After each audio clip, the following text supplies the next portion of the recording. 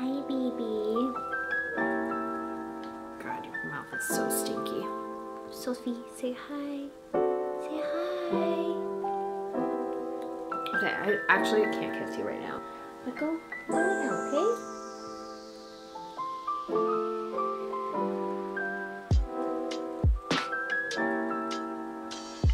Hey guys, welcome back to my channel. So today we have another makeup look.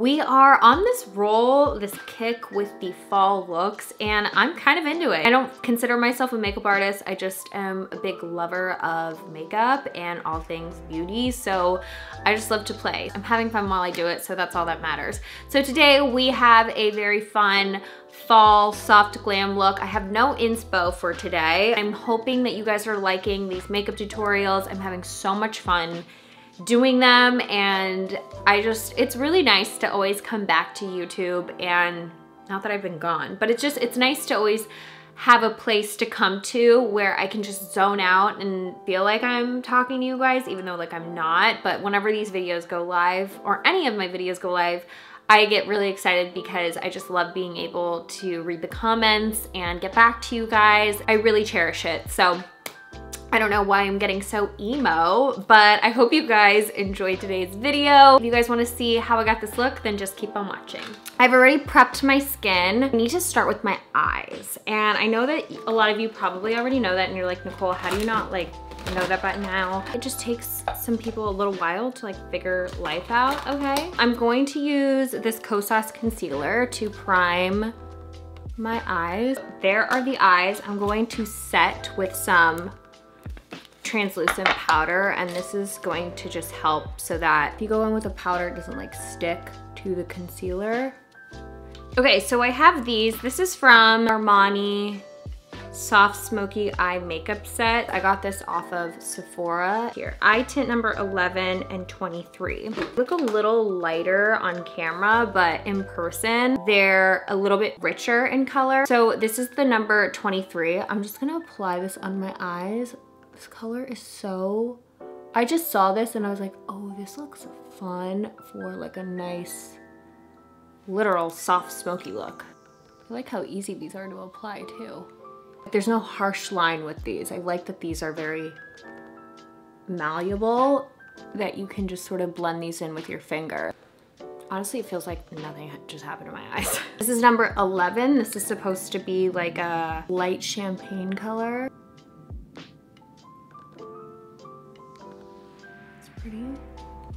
Don't feel like it's as smoky though. Maybe if I put it here and then just blend this in.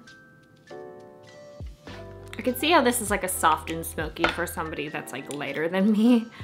This is not really for like a tan skin tone. It's just more, I would just say it's like a neutral, I wouldn't say it's like a soft smoky. I'm gonna take this. I actually just got this one as well. This is the Woodwinked eyeshadow. I'm gonna take a little bit on here. And I'm just gonna run this right on the lid. See how like the Armani shade sort of peeking through? It's a good base for sure. Blend. This is the Charlotte Tilbury Super Nudes Easy Eye Palette. Just doing the outer third, basically. Ooh! It's like a nice little trick. Just take like a credit card or like a business card. It's like a stencil almost. You just focus on the outer third and I feel like that kind of gives you a really good smoky eye, like pretty quick. See? Obviously, we're not gonna keep it like this because that would just be absurd. And then we're just gonna blend. And this is why we don't do our face makeup because if I had, I would have had to like redo my concealer and blah, blah, blah, blah, blah. I find that like if you get to a pretty decent spot with the eyeshadow where you're like, okay, it's blended, just continue on, do the rest of your face, then come back to it because sometimes I feel like it can be a little overkill. Mean, I get very like frustrated because this is not my strong suit, but this is why I'm trying to do more eyeshadowy looks because I'm trying to get better. I'm gonna use the Anastasia Brow Freeze to take this on a spoolie. I just have like a bag of spoolies in here because I go through mine and they get so dirty and disgusting and I like don't really want to wash my spoolie brush all the time, you know? So I just was like, you know what, disposable it is and I don't want to hear it. Let me know if you guys think this is a good idea. I should get a makeup artist to do my makeup because you guys are so used to me doing my makeup. I feel like you never get to see when people do my makeup, which either I'm like at work if that happens. I don't really pay people to do my makeup ever, but I think it might be a really cool video idea. So let me know what you guys think of that. Okay, so I'm gonna take the Chantecaille Future Skin Foundation. This is like one of my favorites. It's a very fluid, super dewy, lightweight foundation. This is actually the foundation they use on Euphoria because they don't want it to look like skin um, on sets or, or on camera. So I love this stuff. I think it's so good. And then I'm just going to stipple this right onto front of my face, or the front of my face. I'm gonna take the product and just focus it on the middle and then kind of work up and out. Take a beauty blender and then just start stippling this on. This is my contour wand. Literally, I don't even know if it has anything in it at this point. I'm going to do see, there's like not anything in here. You really don't need a lot. I fully know that this is gonna be way too much. Anyway, this is the contour wand from Charlotte Tilbury. Because mine's like almost done, I just got a new one and I've been waiting for this product to go back in stock. Where did I go on? I was on Nordstrom and I was like, wait, what? This is in stock? So I obviously had to pick it up. Also, like, what is this brush? I just grabbed this. I don't even know what it is. It's the Sigma setting powder. Ooh, it's very good. So like I have these, I was like, why does my face look like that? It's because I have a dot on my nose. Um, also, I have these like veins. Do you guys see this? Vein and vein. It's giving aging. I'm gonna mix these two actually. It's 6.5 and 6.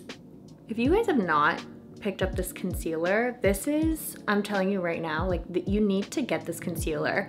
And if they don't have your shade at Sephora, you can sign up to get notified whenever things come back in stock. And you'd be surprised how quickly certain things come back in stock. So just, you know, and plus the, this concealer is so popular. I feel like I always see it back in stock and then out of stock again. Um, and also because the holiday savings event just happened, things might be out of stock. Um, you know who though I need I have a bone to pick with about getting things back in stock is Makeup by Mario. They need to like bust their butt and get those like lip liners back in stock because there's a lip liner I've been wanting to try and they've been sold out in store and online. Like every single time I'm near a Sephora, I just like pop in just to see and they never have it in stock. And I'm like, fudge? Hollywood Flawless Filter, mine's in number five. I'm just gonna take a little bit because I feel like my skin's not as like dewy as I would like it to be. Next up, we are going to set with some powder. If you have not used the puff yet, this is game changer. I'm telling you, the shape of it, it really helps you pinch that nose in. It has like a straight line, so really kind of bring it out. And the shape is amazing, but also, I don't know, this material creates like a very porcelain like look. It's amazing. So I'll just show you guys. If you guys have not tried this, like just go buy it. It's amazing. And they come with like a big pack, so like share the love with your family or your sister or your mom, but see how that just like, gosh, it looks so good. Like, I love this. It's my favorite. I used to hate powders, but now I love it. I can't live without it. I think it's just like what really can make your make or break your makeup is like the powder you use and also like the technique.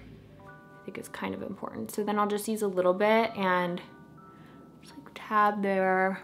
here and then my smile lines. Okay, next we're gonna use a blush. I have this blush, it's brand new, it's from Chanel. It's the 260 Alazane. Let's test it together. I hope this has no product on it. Oh my God, it smells like, oh, it smells so good.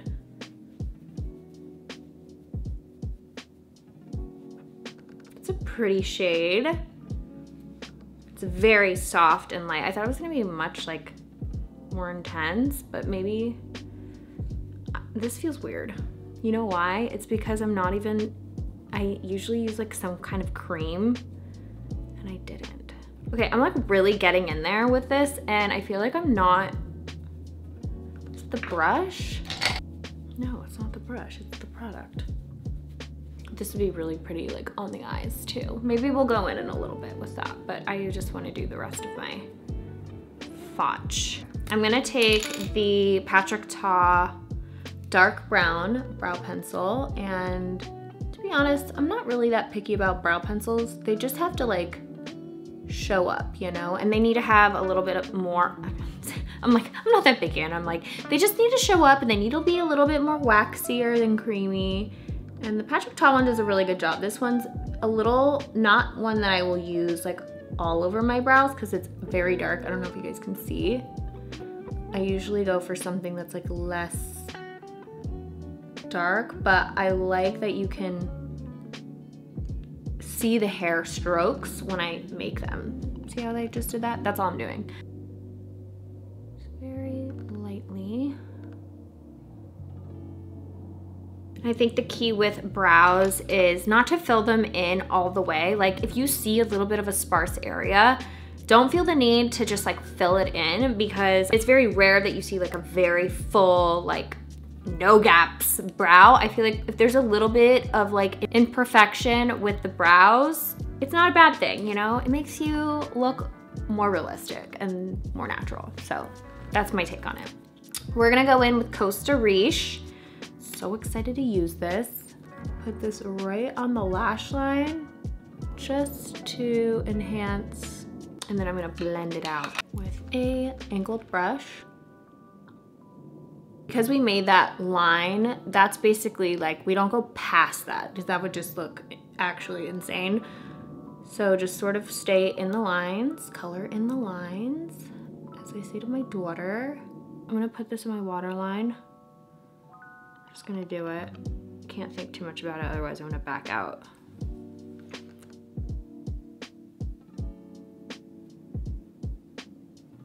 I think I'm gonna use Warm Soul from MAC. Good old MAC. Look at them, just like coming through with the makeup. My favorite bronzer, Give Me Sun, also from MAC. And I'm gonna warm skin up. That's, I think maybe that's what it is. I feel like when I don't use this product, my skin just seems a little too cool tone or like almost a little ashy. So I always like to bring Give Me Sun in because I feel like this is just a really nice warm, some would say orange, but I don't think it's orange, caramelly warmth to the skin and I love it, so. Should I put the Chanel blush in my crease a little, just a little. I don't know what it is, but I'm telling you, like looks just don't, they're not complete unless you add the color you're using on your face in the eyes. I said what I said, it's so true. I don't know, the voodoo, I think it just maybe balances it out a little bit more. I don't know, but it just, I'm telling you, there's something about it. Taking my setting powder and just going right underneath. This really helps with more smoothing. Also helps with like the very porcelain looking base, you know? Take my freck. You wanna do this before you set your makeup. You wanna be able to diffuse them out because that's what really makes it look like freckles. My Ilia to start.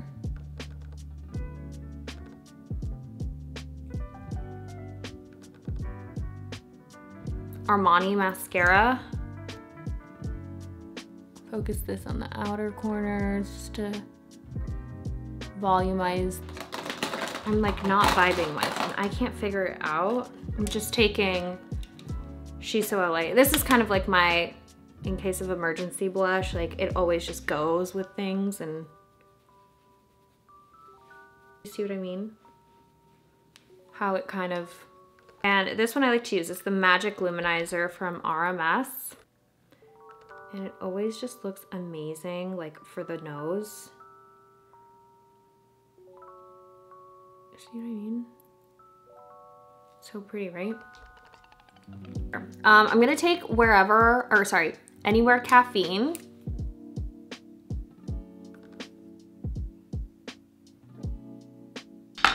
Okay, should we use this? This is called Trace. It's the Hourglass, I don't know, these things. They're like glossy. All. Ooh. Oh my God. How have I not used these before? These have just been sitting around. Hello, lips. All right, all right, let's wrap this up. We gotta go. I'm gonna take my Airbrush Flawless Finish. Right, so that completes today's look. I hope you guys enjoyed it. I'm having so much fun creating like these fall smoky looks. I think it's a nice, fun transition from just doing my regular same looks that you guys have seen me do like a thousand times. So this is a lot of fun. Let me know if there are any other videos you'd like to see from me here on my channel. And yeah, I'm gonna have everything listed down below for you guys. Thank you guys so much for watching and I'll see you guys in my next one. Bye.